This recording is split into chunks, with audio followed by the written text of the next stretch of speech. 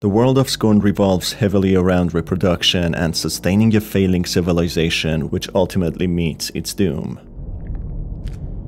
A human who seems to have been heavily modified with his mouth being in the process of fully being shut, wakes up finding himself pinned to the ground alongside many like himself, in the presence of a large organic pillar where many like himself seemingly have suffered the same fate. The man has a tool attached to his left hand which we later discover to be a key which is used to interact with many doors or machinery used to interact with other parts of the construction as if it's a giant factory. As the man frees himself from his dried organic restraints, his consciousness and vision flashes between two time periods or presences, one crawling towards the pillar and another being someone without the hand key, being present in a post-apocalyptic world crawling towards a high-rising structure. As he crawls further, the person in the wasteland falls through a land crevice, awakening in the depth of the mines of the Citadel, being heavily fortified with high-tech doors and structures, structures that seemingly use the material of organic beings. The two men seem to share one consciousness as the second person without the key gets the consciousness traversing across the mines where he acquires a key, which binds to his left hand, which he uses to interact with different machinery in the mines. It soon revealed how these machines depend on organic matter to function instead of wires and electronics, which depicts in a way how the civilization possibly rose after hundreds or thousands of years, changing their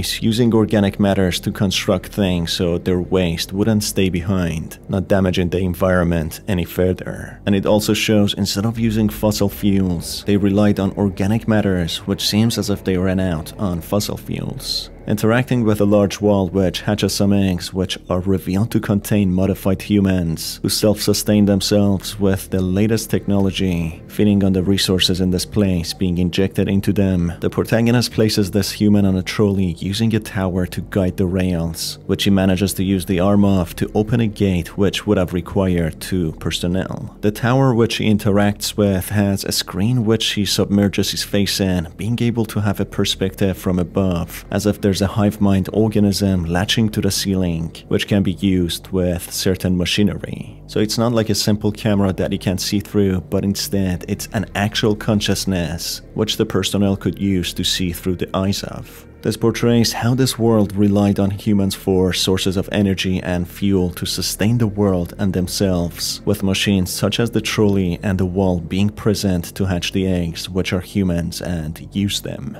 It seems as if these eggs are synthesized, creating fleshy deformed humanoid beings used for powering their machinery and world. The citadel being corroded and disintegrated reveals how the civilization is long gone with only some eggs being alive, with no other human or human identity, with the egg entities trapped in their shells for hundreds of years. Behind the gate, the protagonist comes across a large containment kind of machine which has been long decommissioned, which contains hundreds upon hundreds of corpses of both men and women who have visibly been experimented on, transforming them into different beings beings which we later find out to be a fusion between men and women, capable of independent impregnation and completely obedient under a hive mind organism, but much more on that later. Managing to reach an organic pillar which is similar to the first pillar the other buddy saw in the intro, the protagonist finds a pressurized weapon which also acts as a key, revealing how this part of the Citadel is the mines where workers used to work in. Several organic capsules are then seen here being grown, which contain fluids, which are probably the male reproductive material extracted to mechanicalize the process of childbirth, instead of the traditional way where children need to be developed for 9 months. Successfully managing to find all the capsules and place them inside the pillar due to being abandoned and not maintained for so many years, maybe for centuries, the pillar's tubes burst, destroying the wall, with some sort of expanding foam engulfing the protagonist, which seemingly ends his life with a new perspective of someone else reawakening inside the large organic pod being pinned to his place.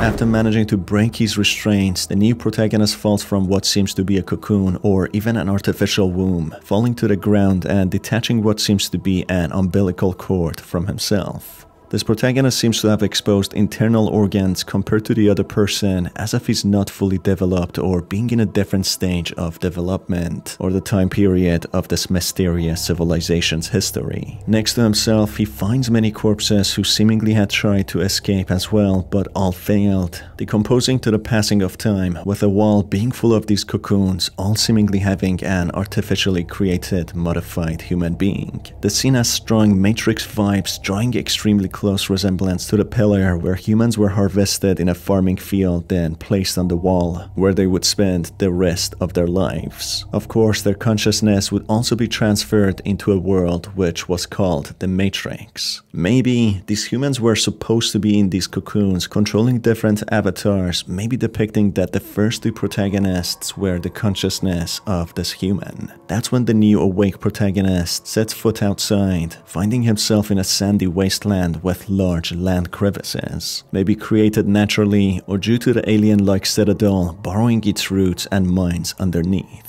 This wasteland is the same where the first protagonist woke up in, which has several empty pods surrounding it, as if other humans were created or transferred in these areas. Viewing the citadel from outside reveals how it mainly used to be built by non-organic material, seemingly metal and other elements having two large exhausts, as if this was a spaceship and not a structure originally. Managing to go inside, it soon revealed how it's filled with organic matters, with large tubes connecting to each other which spray corrosive acids, which instantly dissolve corpses, revealing how the humans were indeed used and experimented on, where they developed this machinery to efficiently get rid of waste material. Very soon, the protagonist gets attacked by a large parasitic entity which has human arms, latching itself to him, which provides him with the weapon the previous protagonist acquired using it as a key. This displays how this parasite is in fact a remnant of the past protagonist who was engulfed with the expanding foam, transforming him into this parasitic being.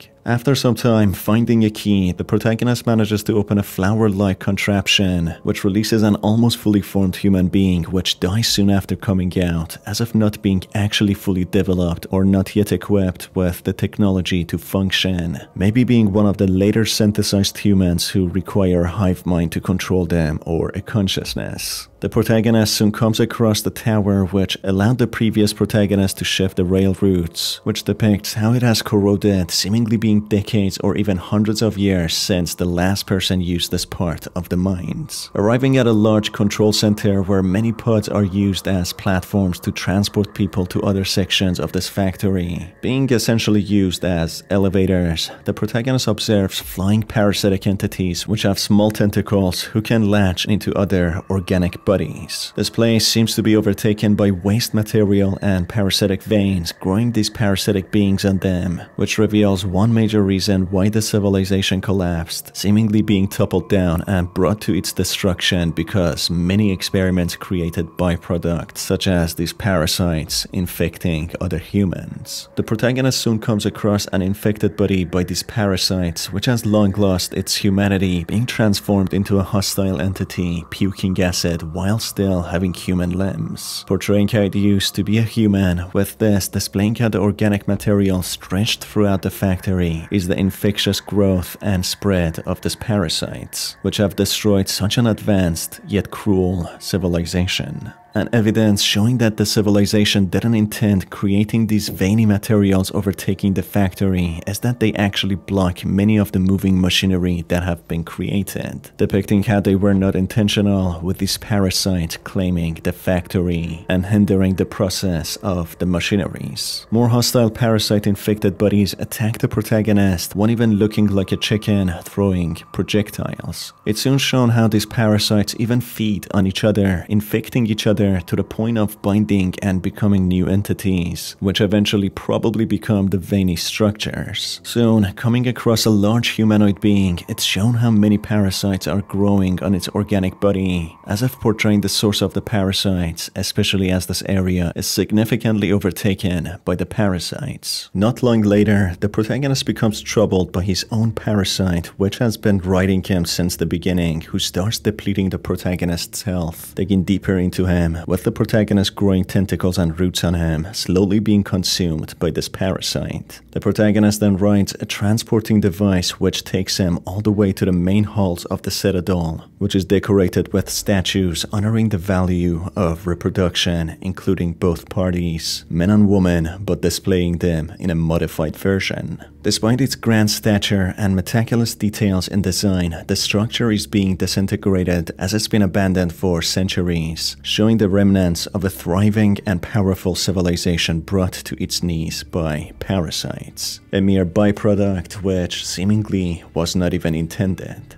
Entering the Grand Hall, the protagonist witnesses an outstretched veiny complex on the ceiling, being similar but different to the veiny parasitic formations, with many humans being connected and tethered to the structure as if they are all connected. But of course, these humans are long dead, not being connected in any way anymore. A wall mural then shows how the human race has been enslaved and dominated by an alien presence having wings and tentacles, similar to the flying parasites but still different, who intended to transform the human race into a fully obedient entity, wiping their faces, removing their mouths and eyes through years of modification, making them into a robotic being fully submissive to the aliens' commands. This shows why so many people were modified, having no mouths, clearly showing they were in the process of becoming what the aliens wanted them to. However, this required many sacrifices and experiments. Another mural shows how the aliens fused both men and women together to create one independent entity capable of giving birth, increasing the reproduction rate so generations after generations could be controlled by the aliens. The flying parasites, which soon infected so many on the other hand, seem to be the byproducts of the aliens fusing themselves to the humans, which created the parasites, destroying both the human race and the new, invading forces of the aliens. More statues and wall murals depict how the alien race was obsessed with the idea of reproduction, who studied humans in an extensive manner, modifying them and synthesizing them so the process of reproduction could be sped up instead of waiting nine months months. This in turn would allow the alien race to become more advanced, having advanced limbs to perform so many other tasks. As it's shown, the aliens didn't only want to control the humans, but they wanted to fuse into them and transfer into them as a consciousness. On a platform, the protagonist comes across two human identities who are pregnant, which depicts the final product the aliens wanted to create from the wall mural, fully independent humans who are completely submissive and under their control. The protagonist soon comes across pods containing what seems to be the fusion of aliens with humans who do not have fully developed torsos or limbs, but still are advanced enough to connect to cyborgs which they created from humans and other metallic elements fully controlling them. Placing these pods inside the cyborgs which are not fully complete, some start to function, attacking the protagonist, which it destroys, getting the corpses of these mixtures between aliens and humans. This reveals how the protagonist was required to awaken them so their consciousness would be present when he kills them and uses their bodies to extract the fluid which can be injected into the pregnant synthesized products, giving them consciousness. The cyborgs, on the other hand, seem to have been guards which the aliens created to defend their civilization, which didn't go too well, with the cyborgs now being not fully functional due to hundreds of years of not being maintained. As the protagonist manages to get all the vials necessary to awaken the pregnant entities, the parasite on him grows severely, stopping him from being able to use his hands as they get overtaken by tentacles, slowly becoming fully consumed. Being left with no other choice,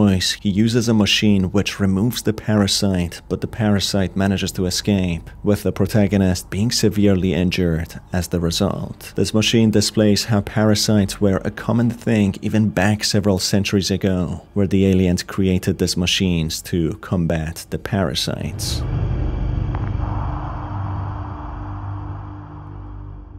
Passing a gate, the protagonist observes a pregnant statue which has flower-like formations under it, depicting how reproduction was synthesized and modified by the aliens, resembling the earlier stage in the game when the protagonist opened one of the flowers with a fully grown man coming out, yet quickly dying. This clearly shows how the modified human born was not put in a different machine to finish the stages of his completion, hence why he died. Injecting the pregnant entities with the vials acquired from the embryo-like pods, the entities grow a parasitic eye on them, coming to life yet not showing any sort of sentience and free will. The injured protagonist then climbs in a wheel which restrains him, with a mechanical doctor connecting his brain to the formation above, which shows how the formation is indeed a hive mind, transferring the consciousness to the pregnant entities, revealing how the aliens wanted to find a way to transfer their consciousness to the human humans since the beginning, but not before creating the perfect humans, being a fusion of both men and women who are self-sufficient, who would also be fully obedient with no consciousness of their own. Maybe these entities would eventually give birth to a new breed of a fusion between humans and aliens, with the aliens having the ideal physical form, being self-sufficient, able to reproduce and continue their lineage and civilization, not requiring as much food anymore and able to do everything everything they couldn't before. That's when the protagonist picks up his original body from the operating bed, taking a scalpel from the doctor which still performs on the body. As the protagonist tries to carry his original body out of this horrifying citadel, getting further and further away from the hive mind weakens the signal, switching his consciousness back to his weak and injured body. That's when the large parasite from earlier reappears once more, latching onto the protagonist, ending his with his consciousness slowly leaving his body while he regrets losing the new capable body, reaching out to it. The fusion between the parasite and the protagonist creates a familiar lump which was surrounding the pillar in the beginning of the story, depicting how so many survivors who managed to get out of the cocoons died, with the protagonist being one who managed to get the furthest.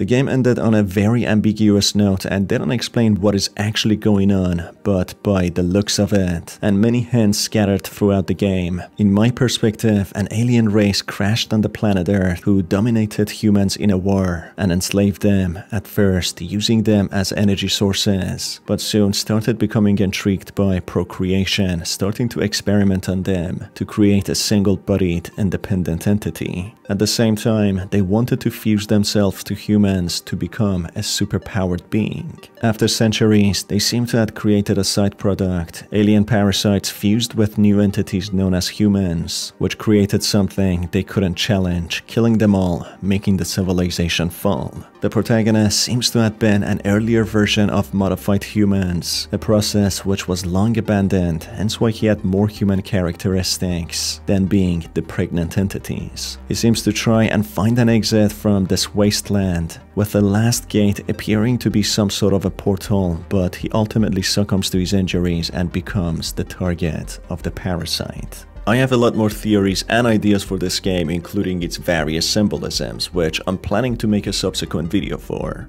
If you folks enjoyed this video, make sure to stay tuned for that. It's been your host Star, thank you for being here, and I will see you on the next one. Take care.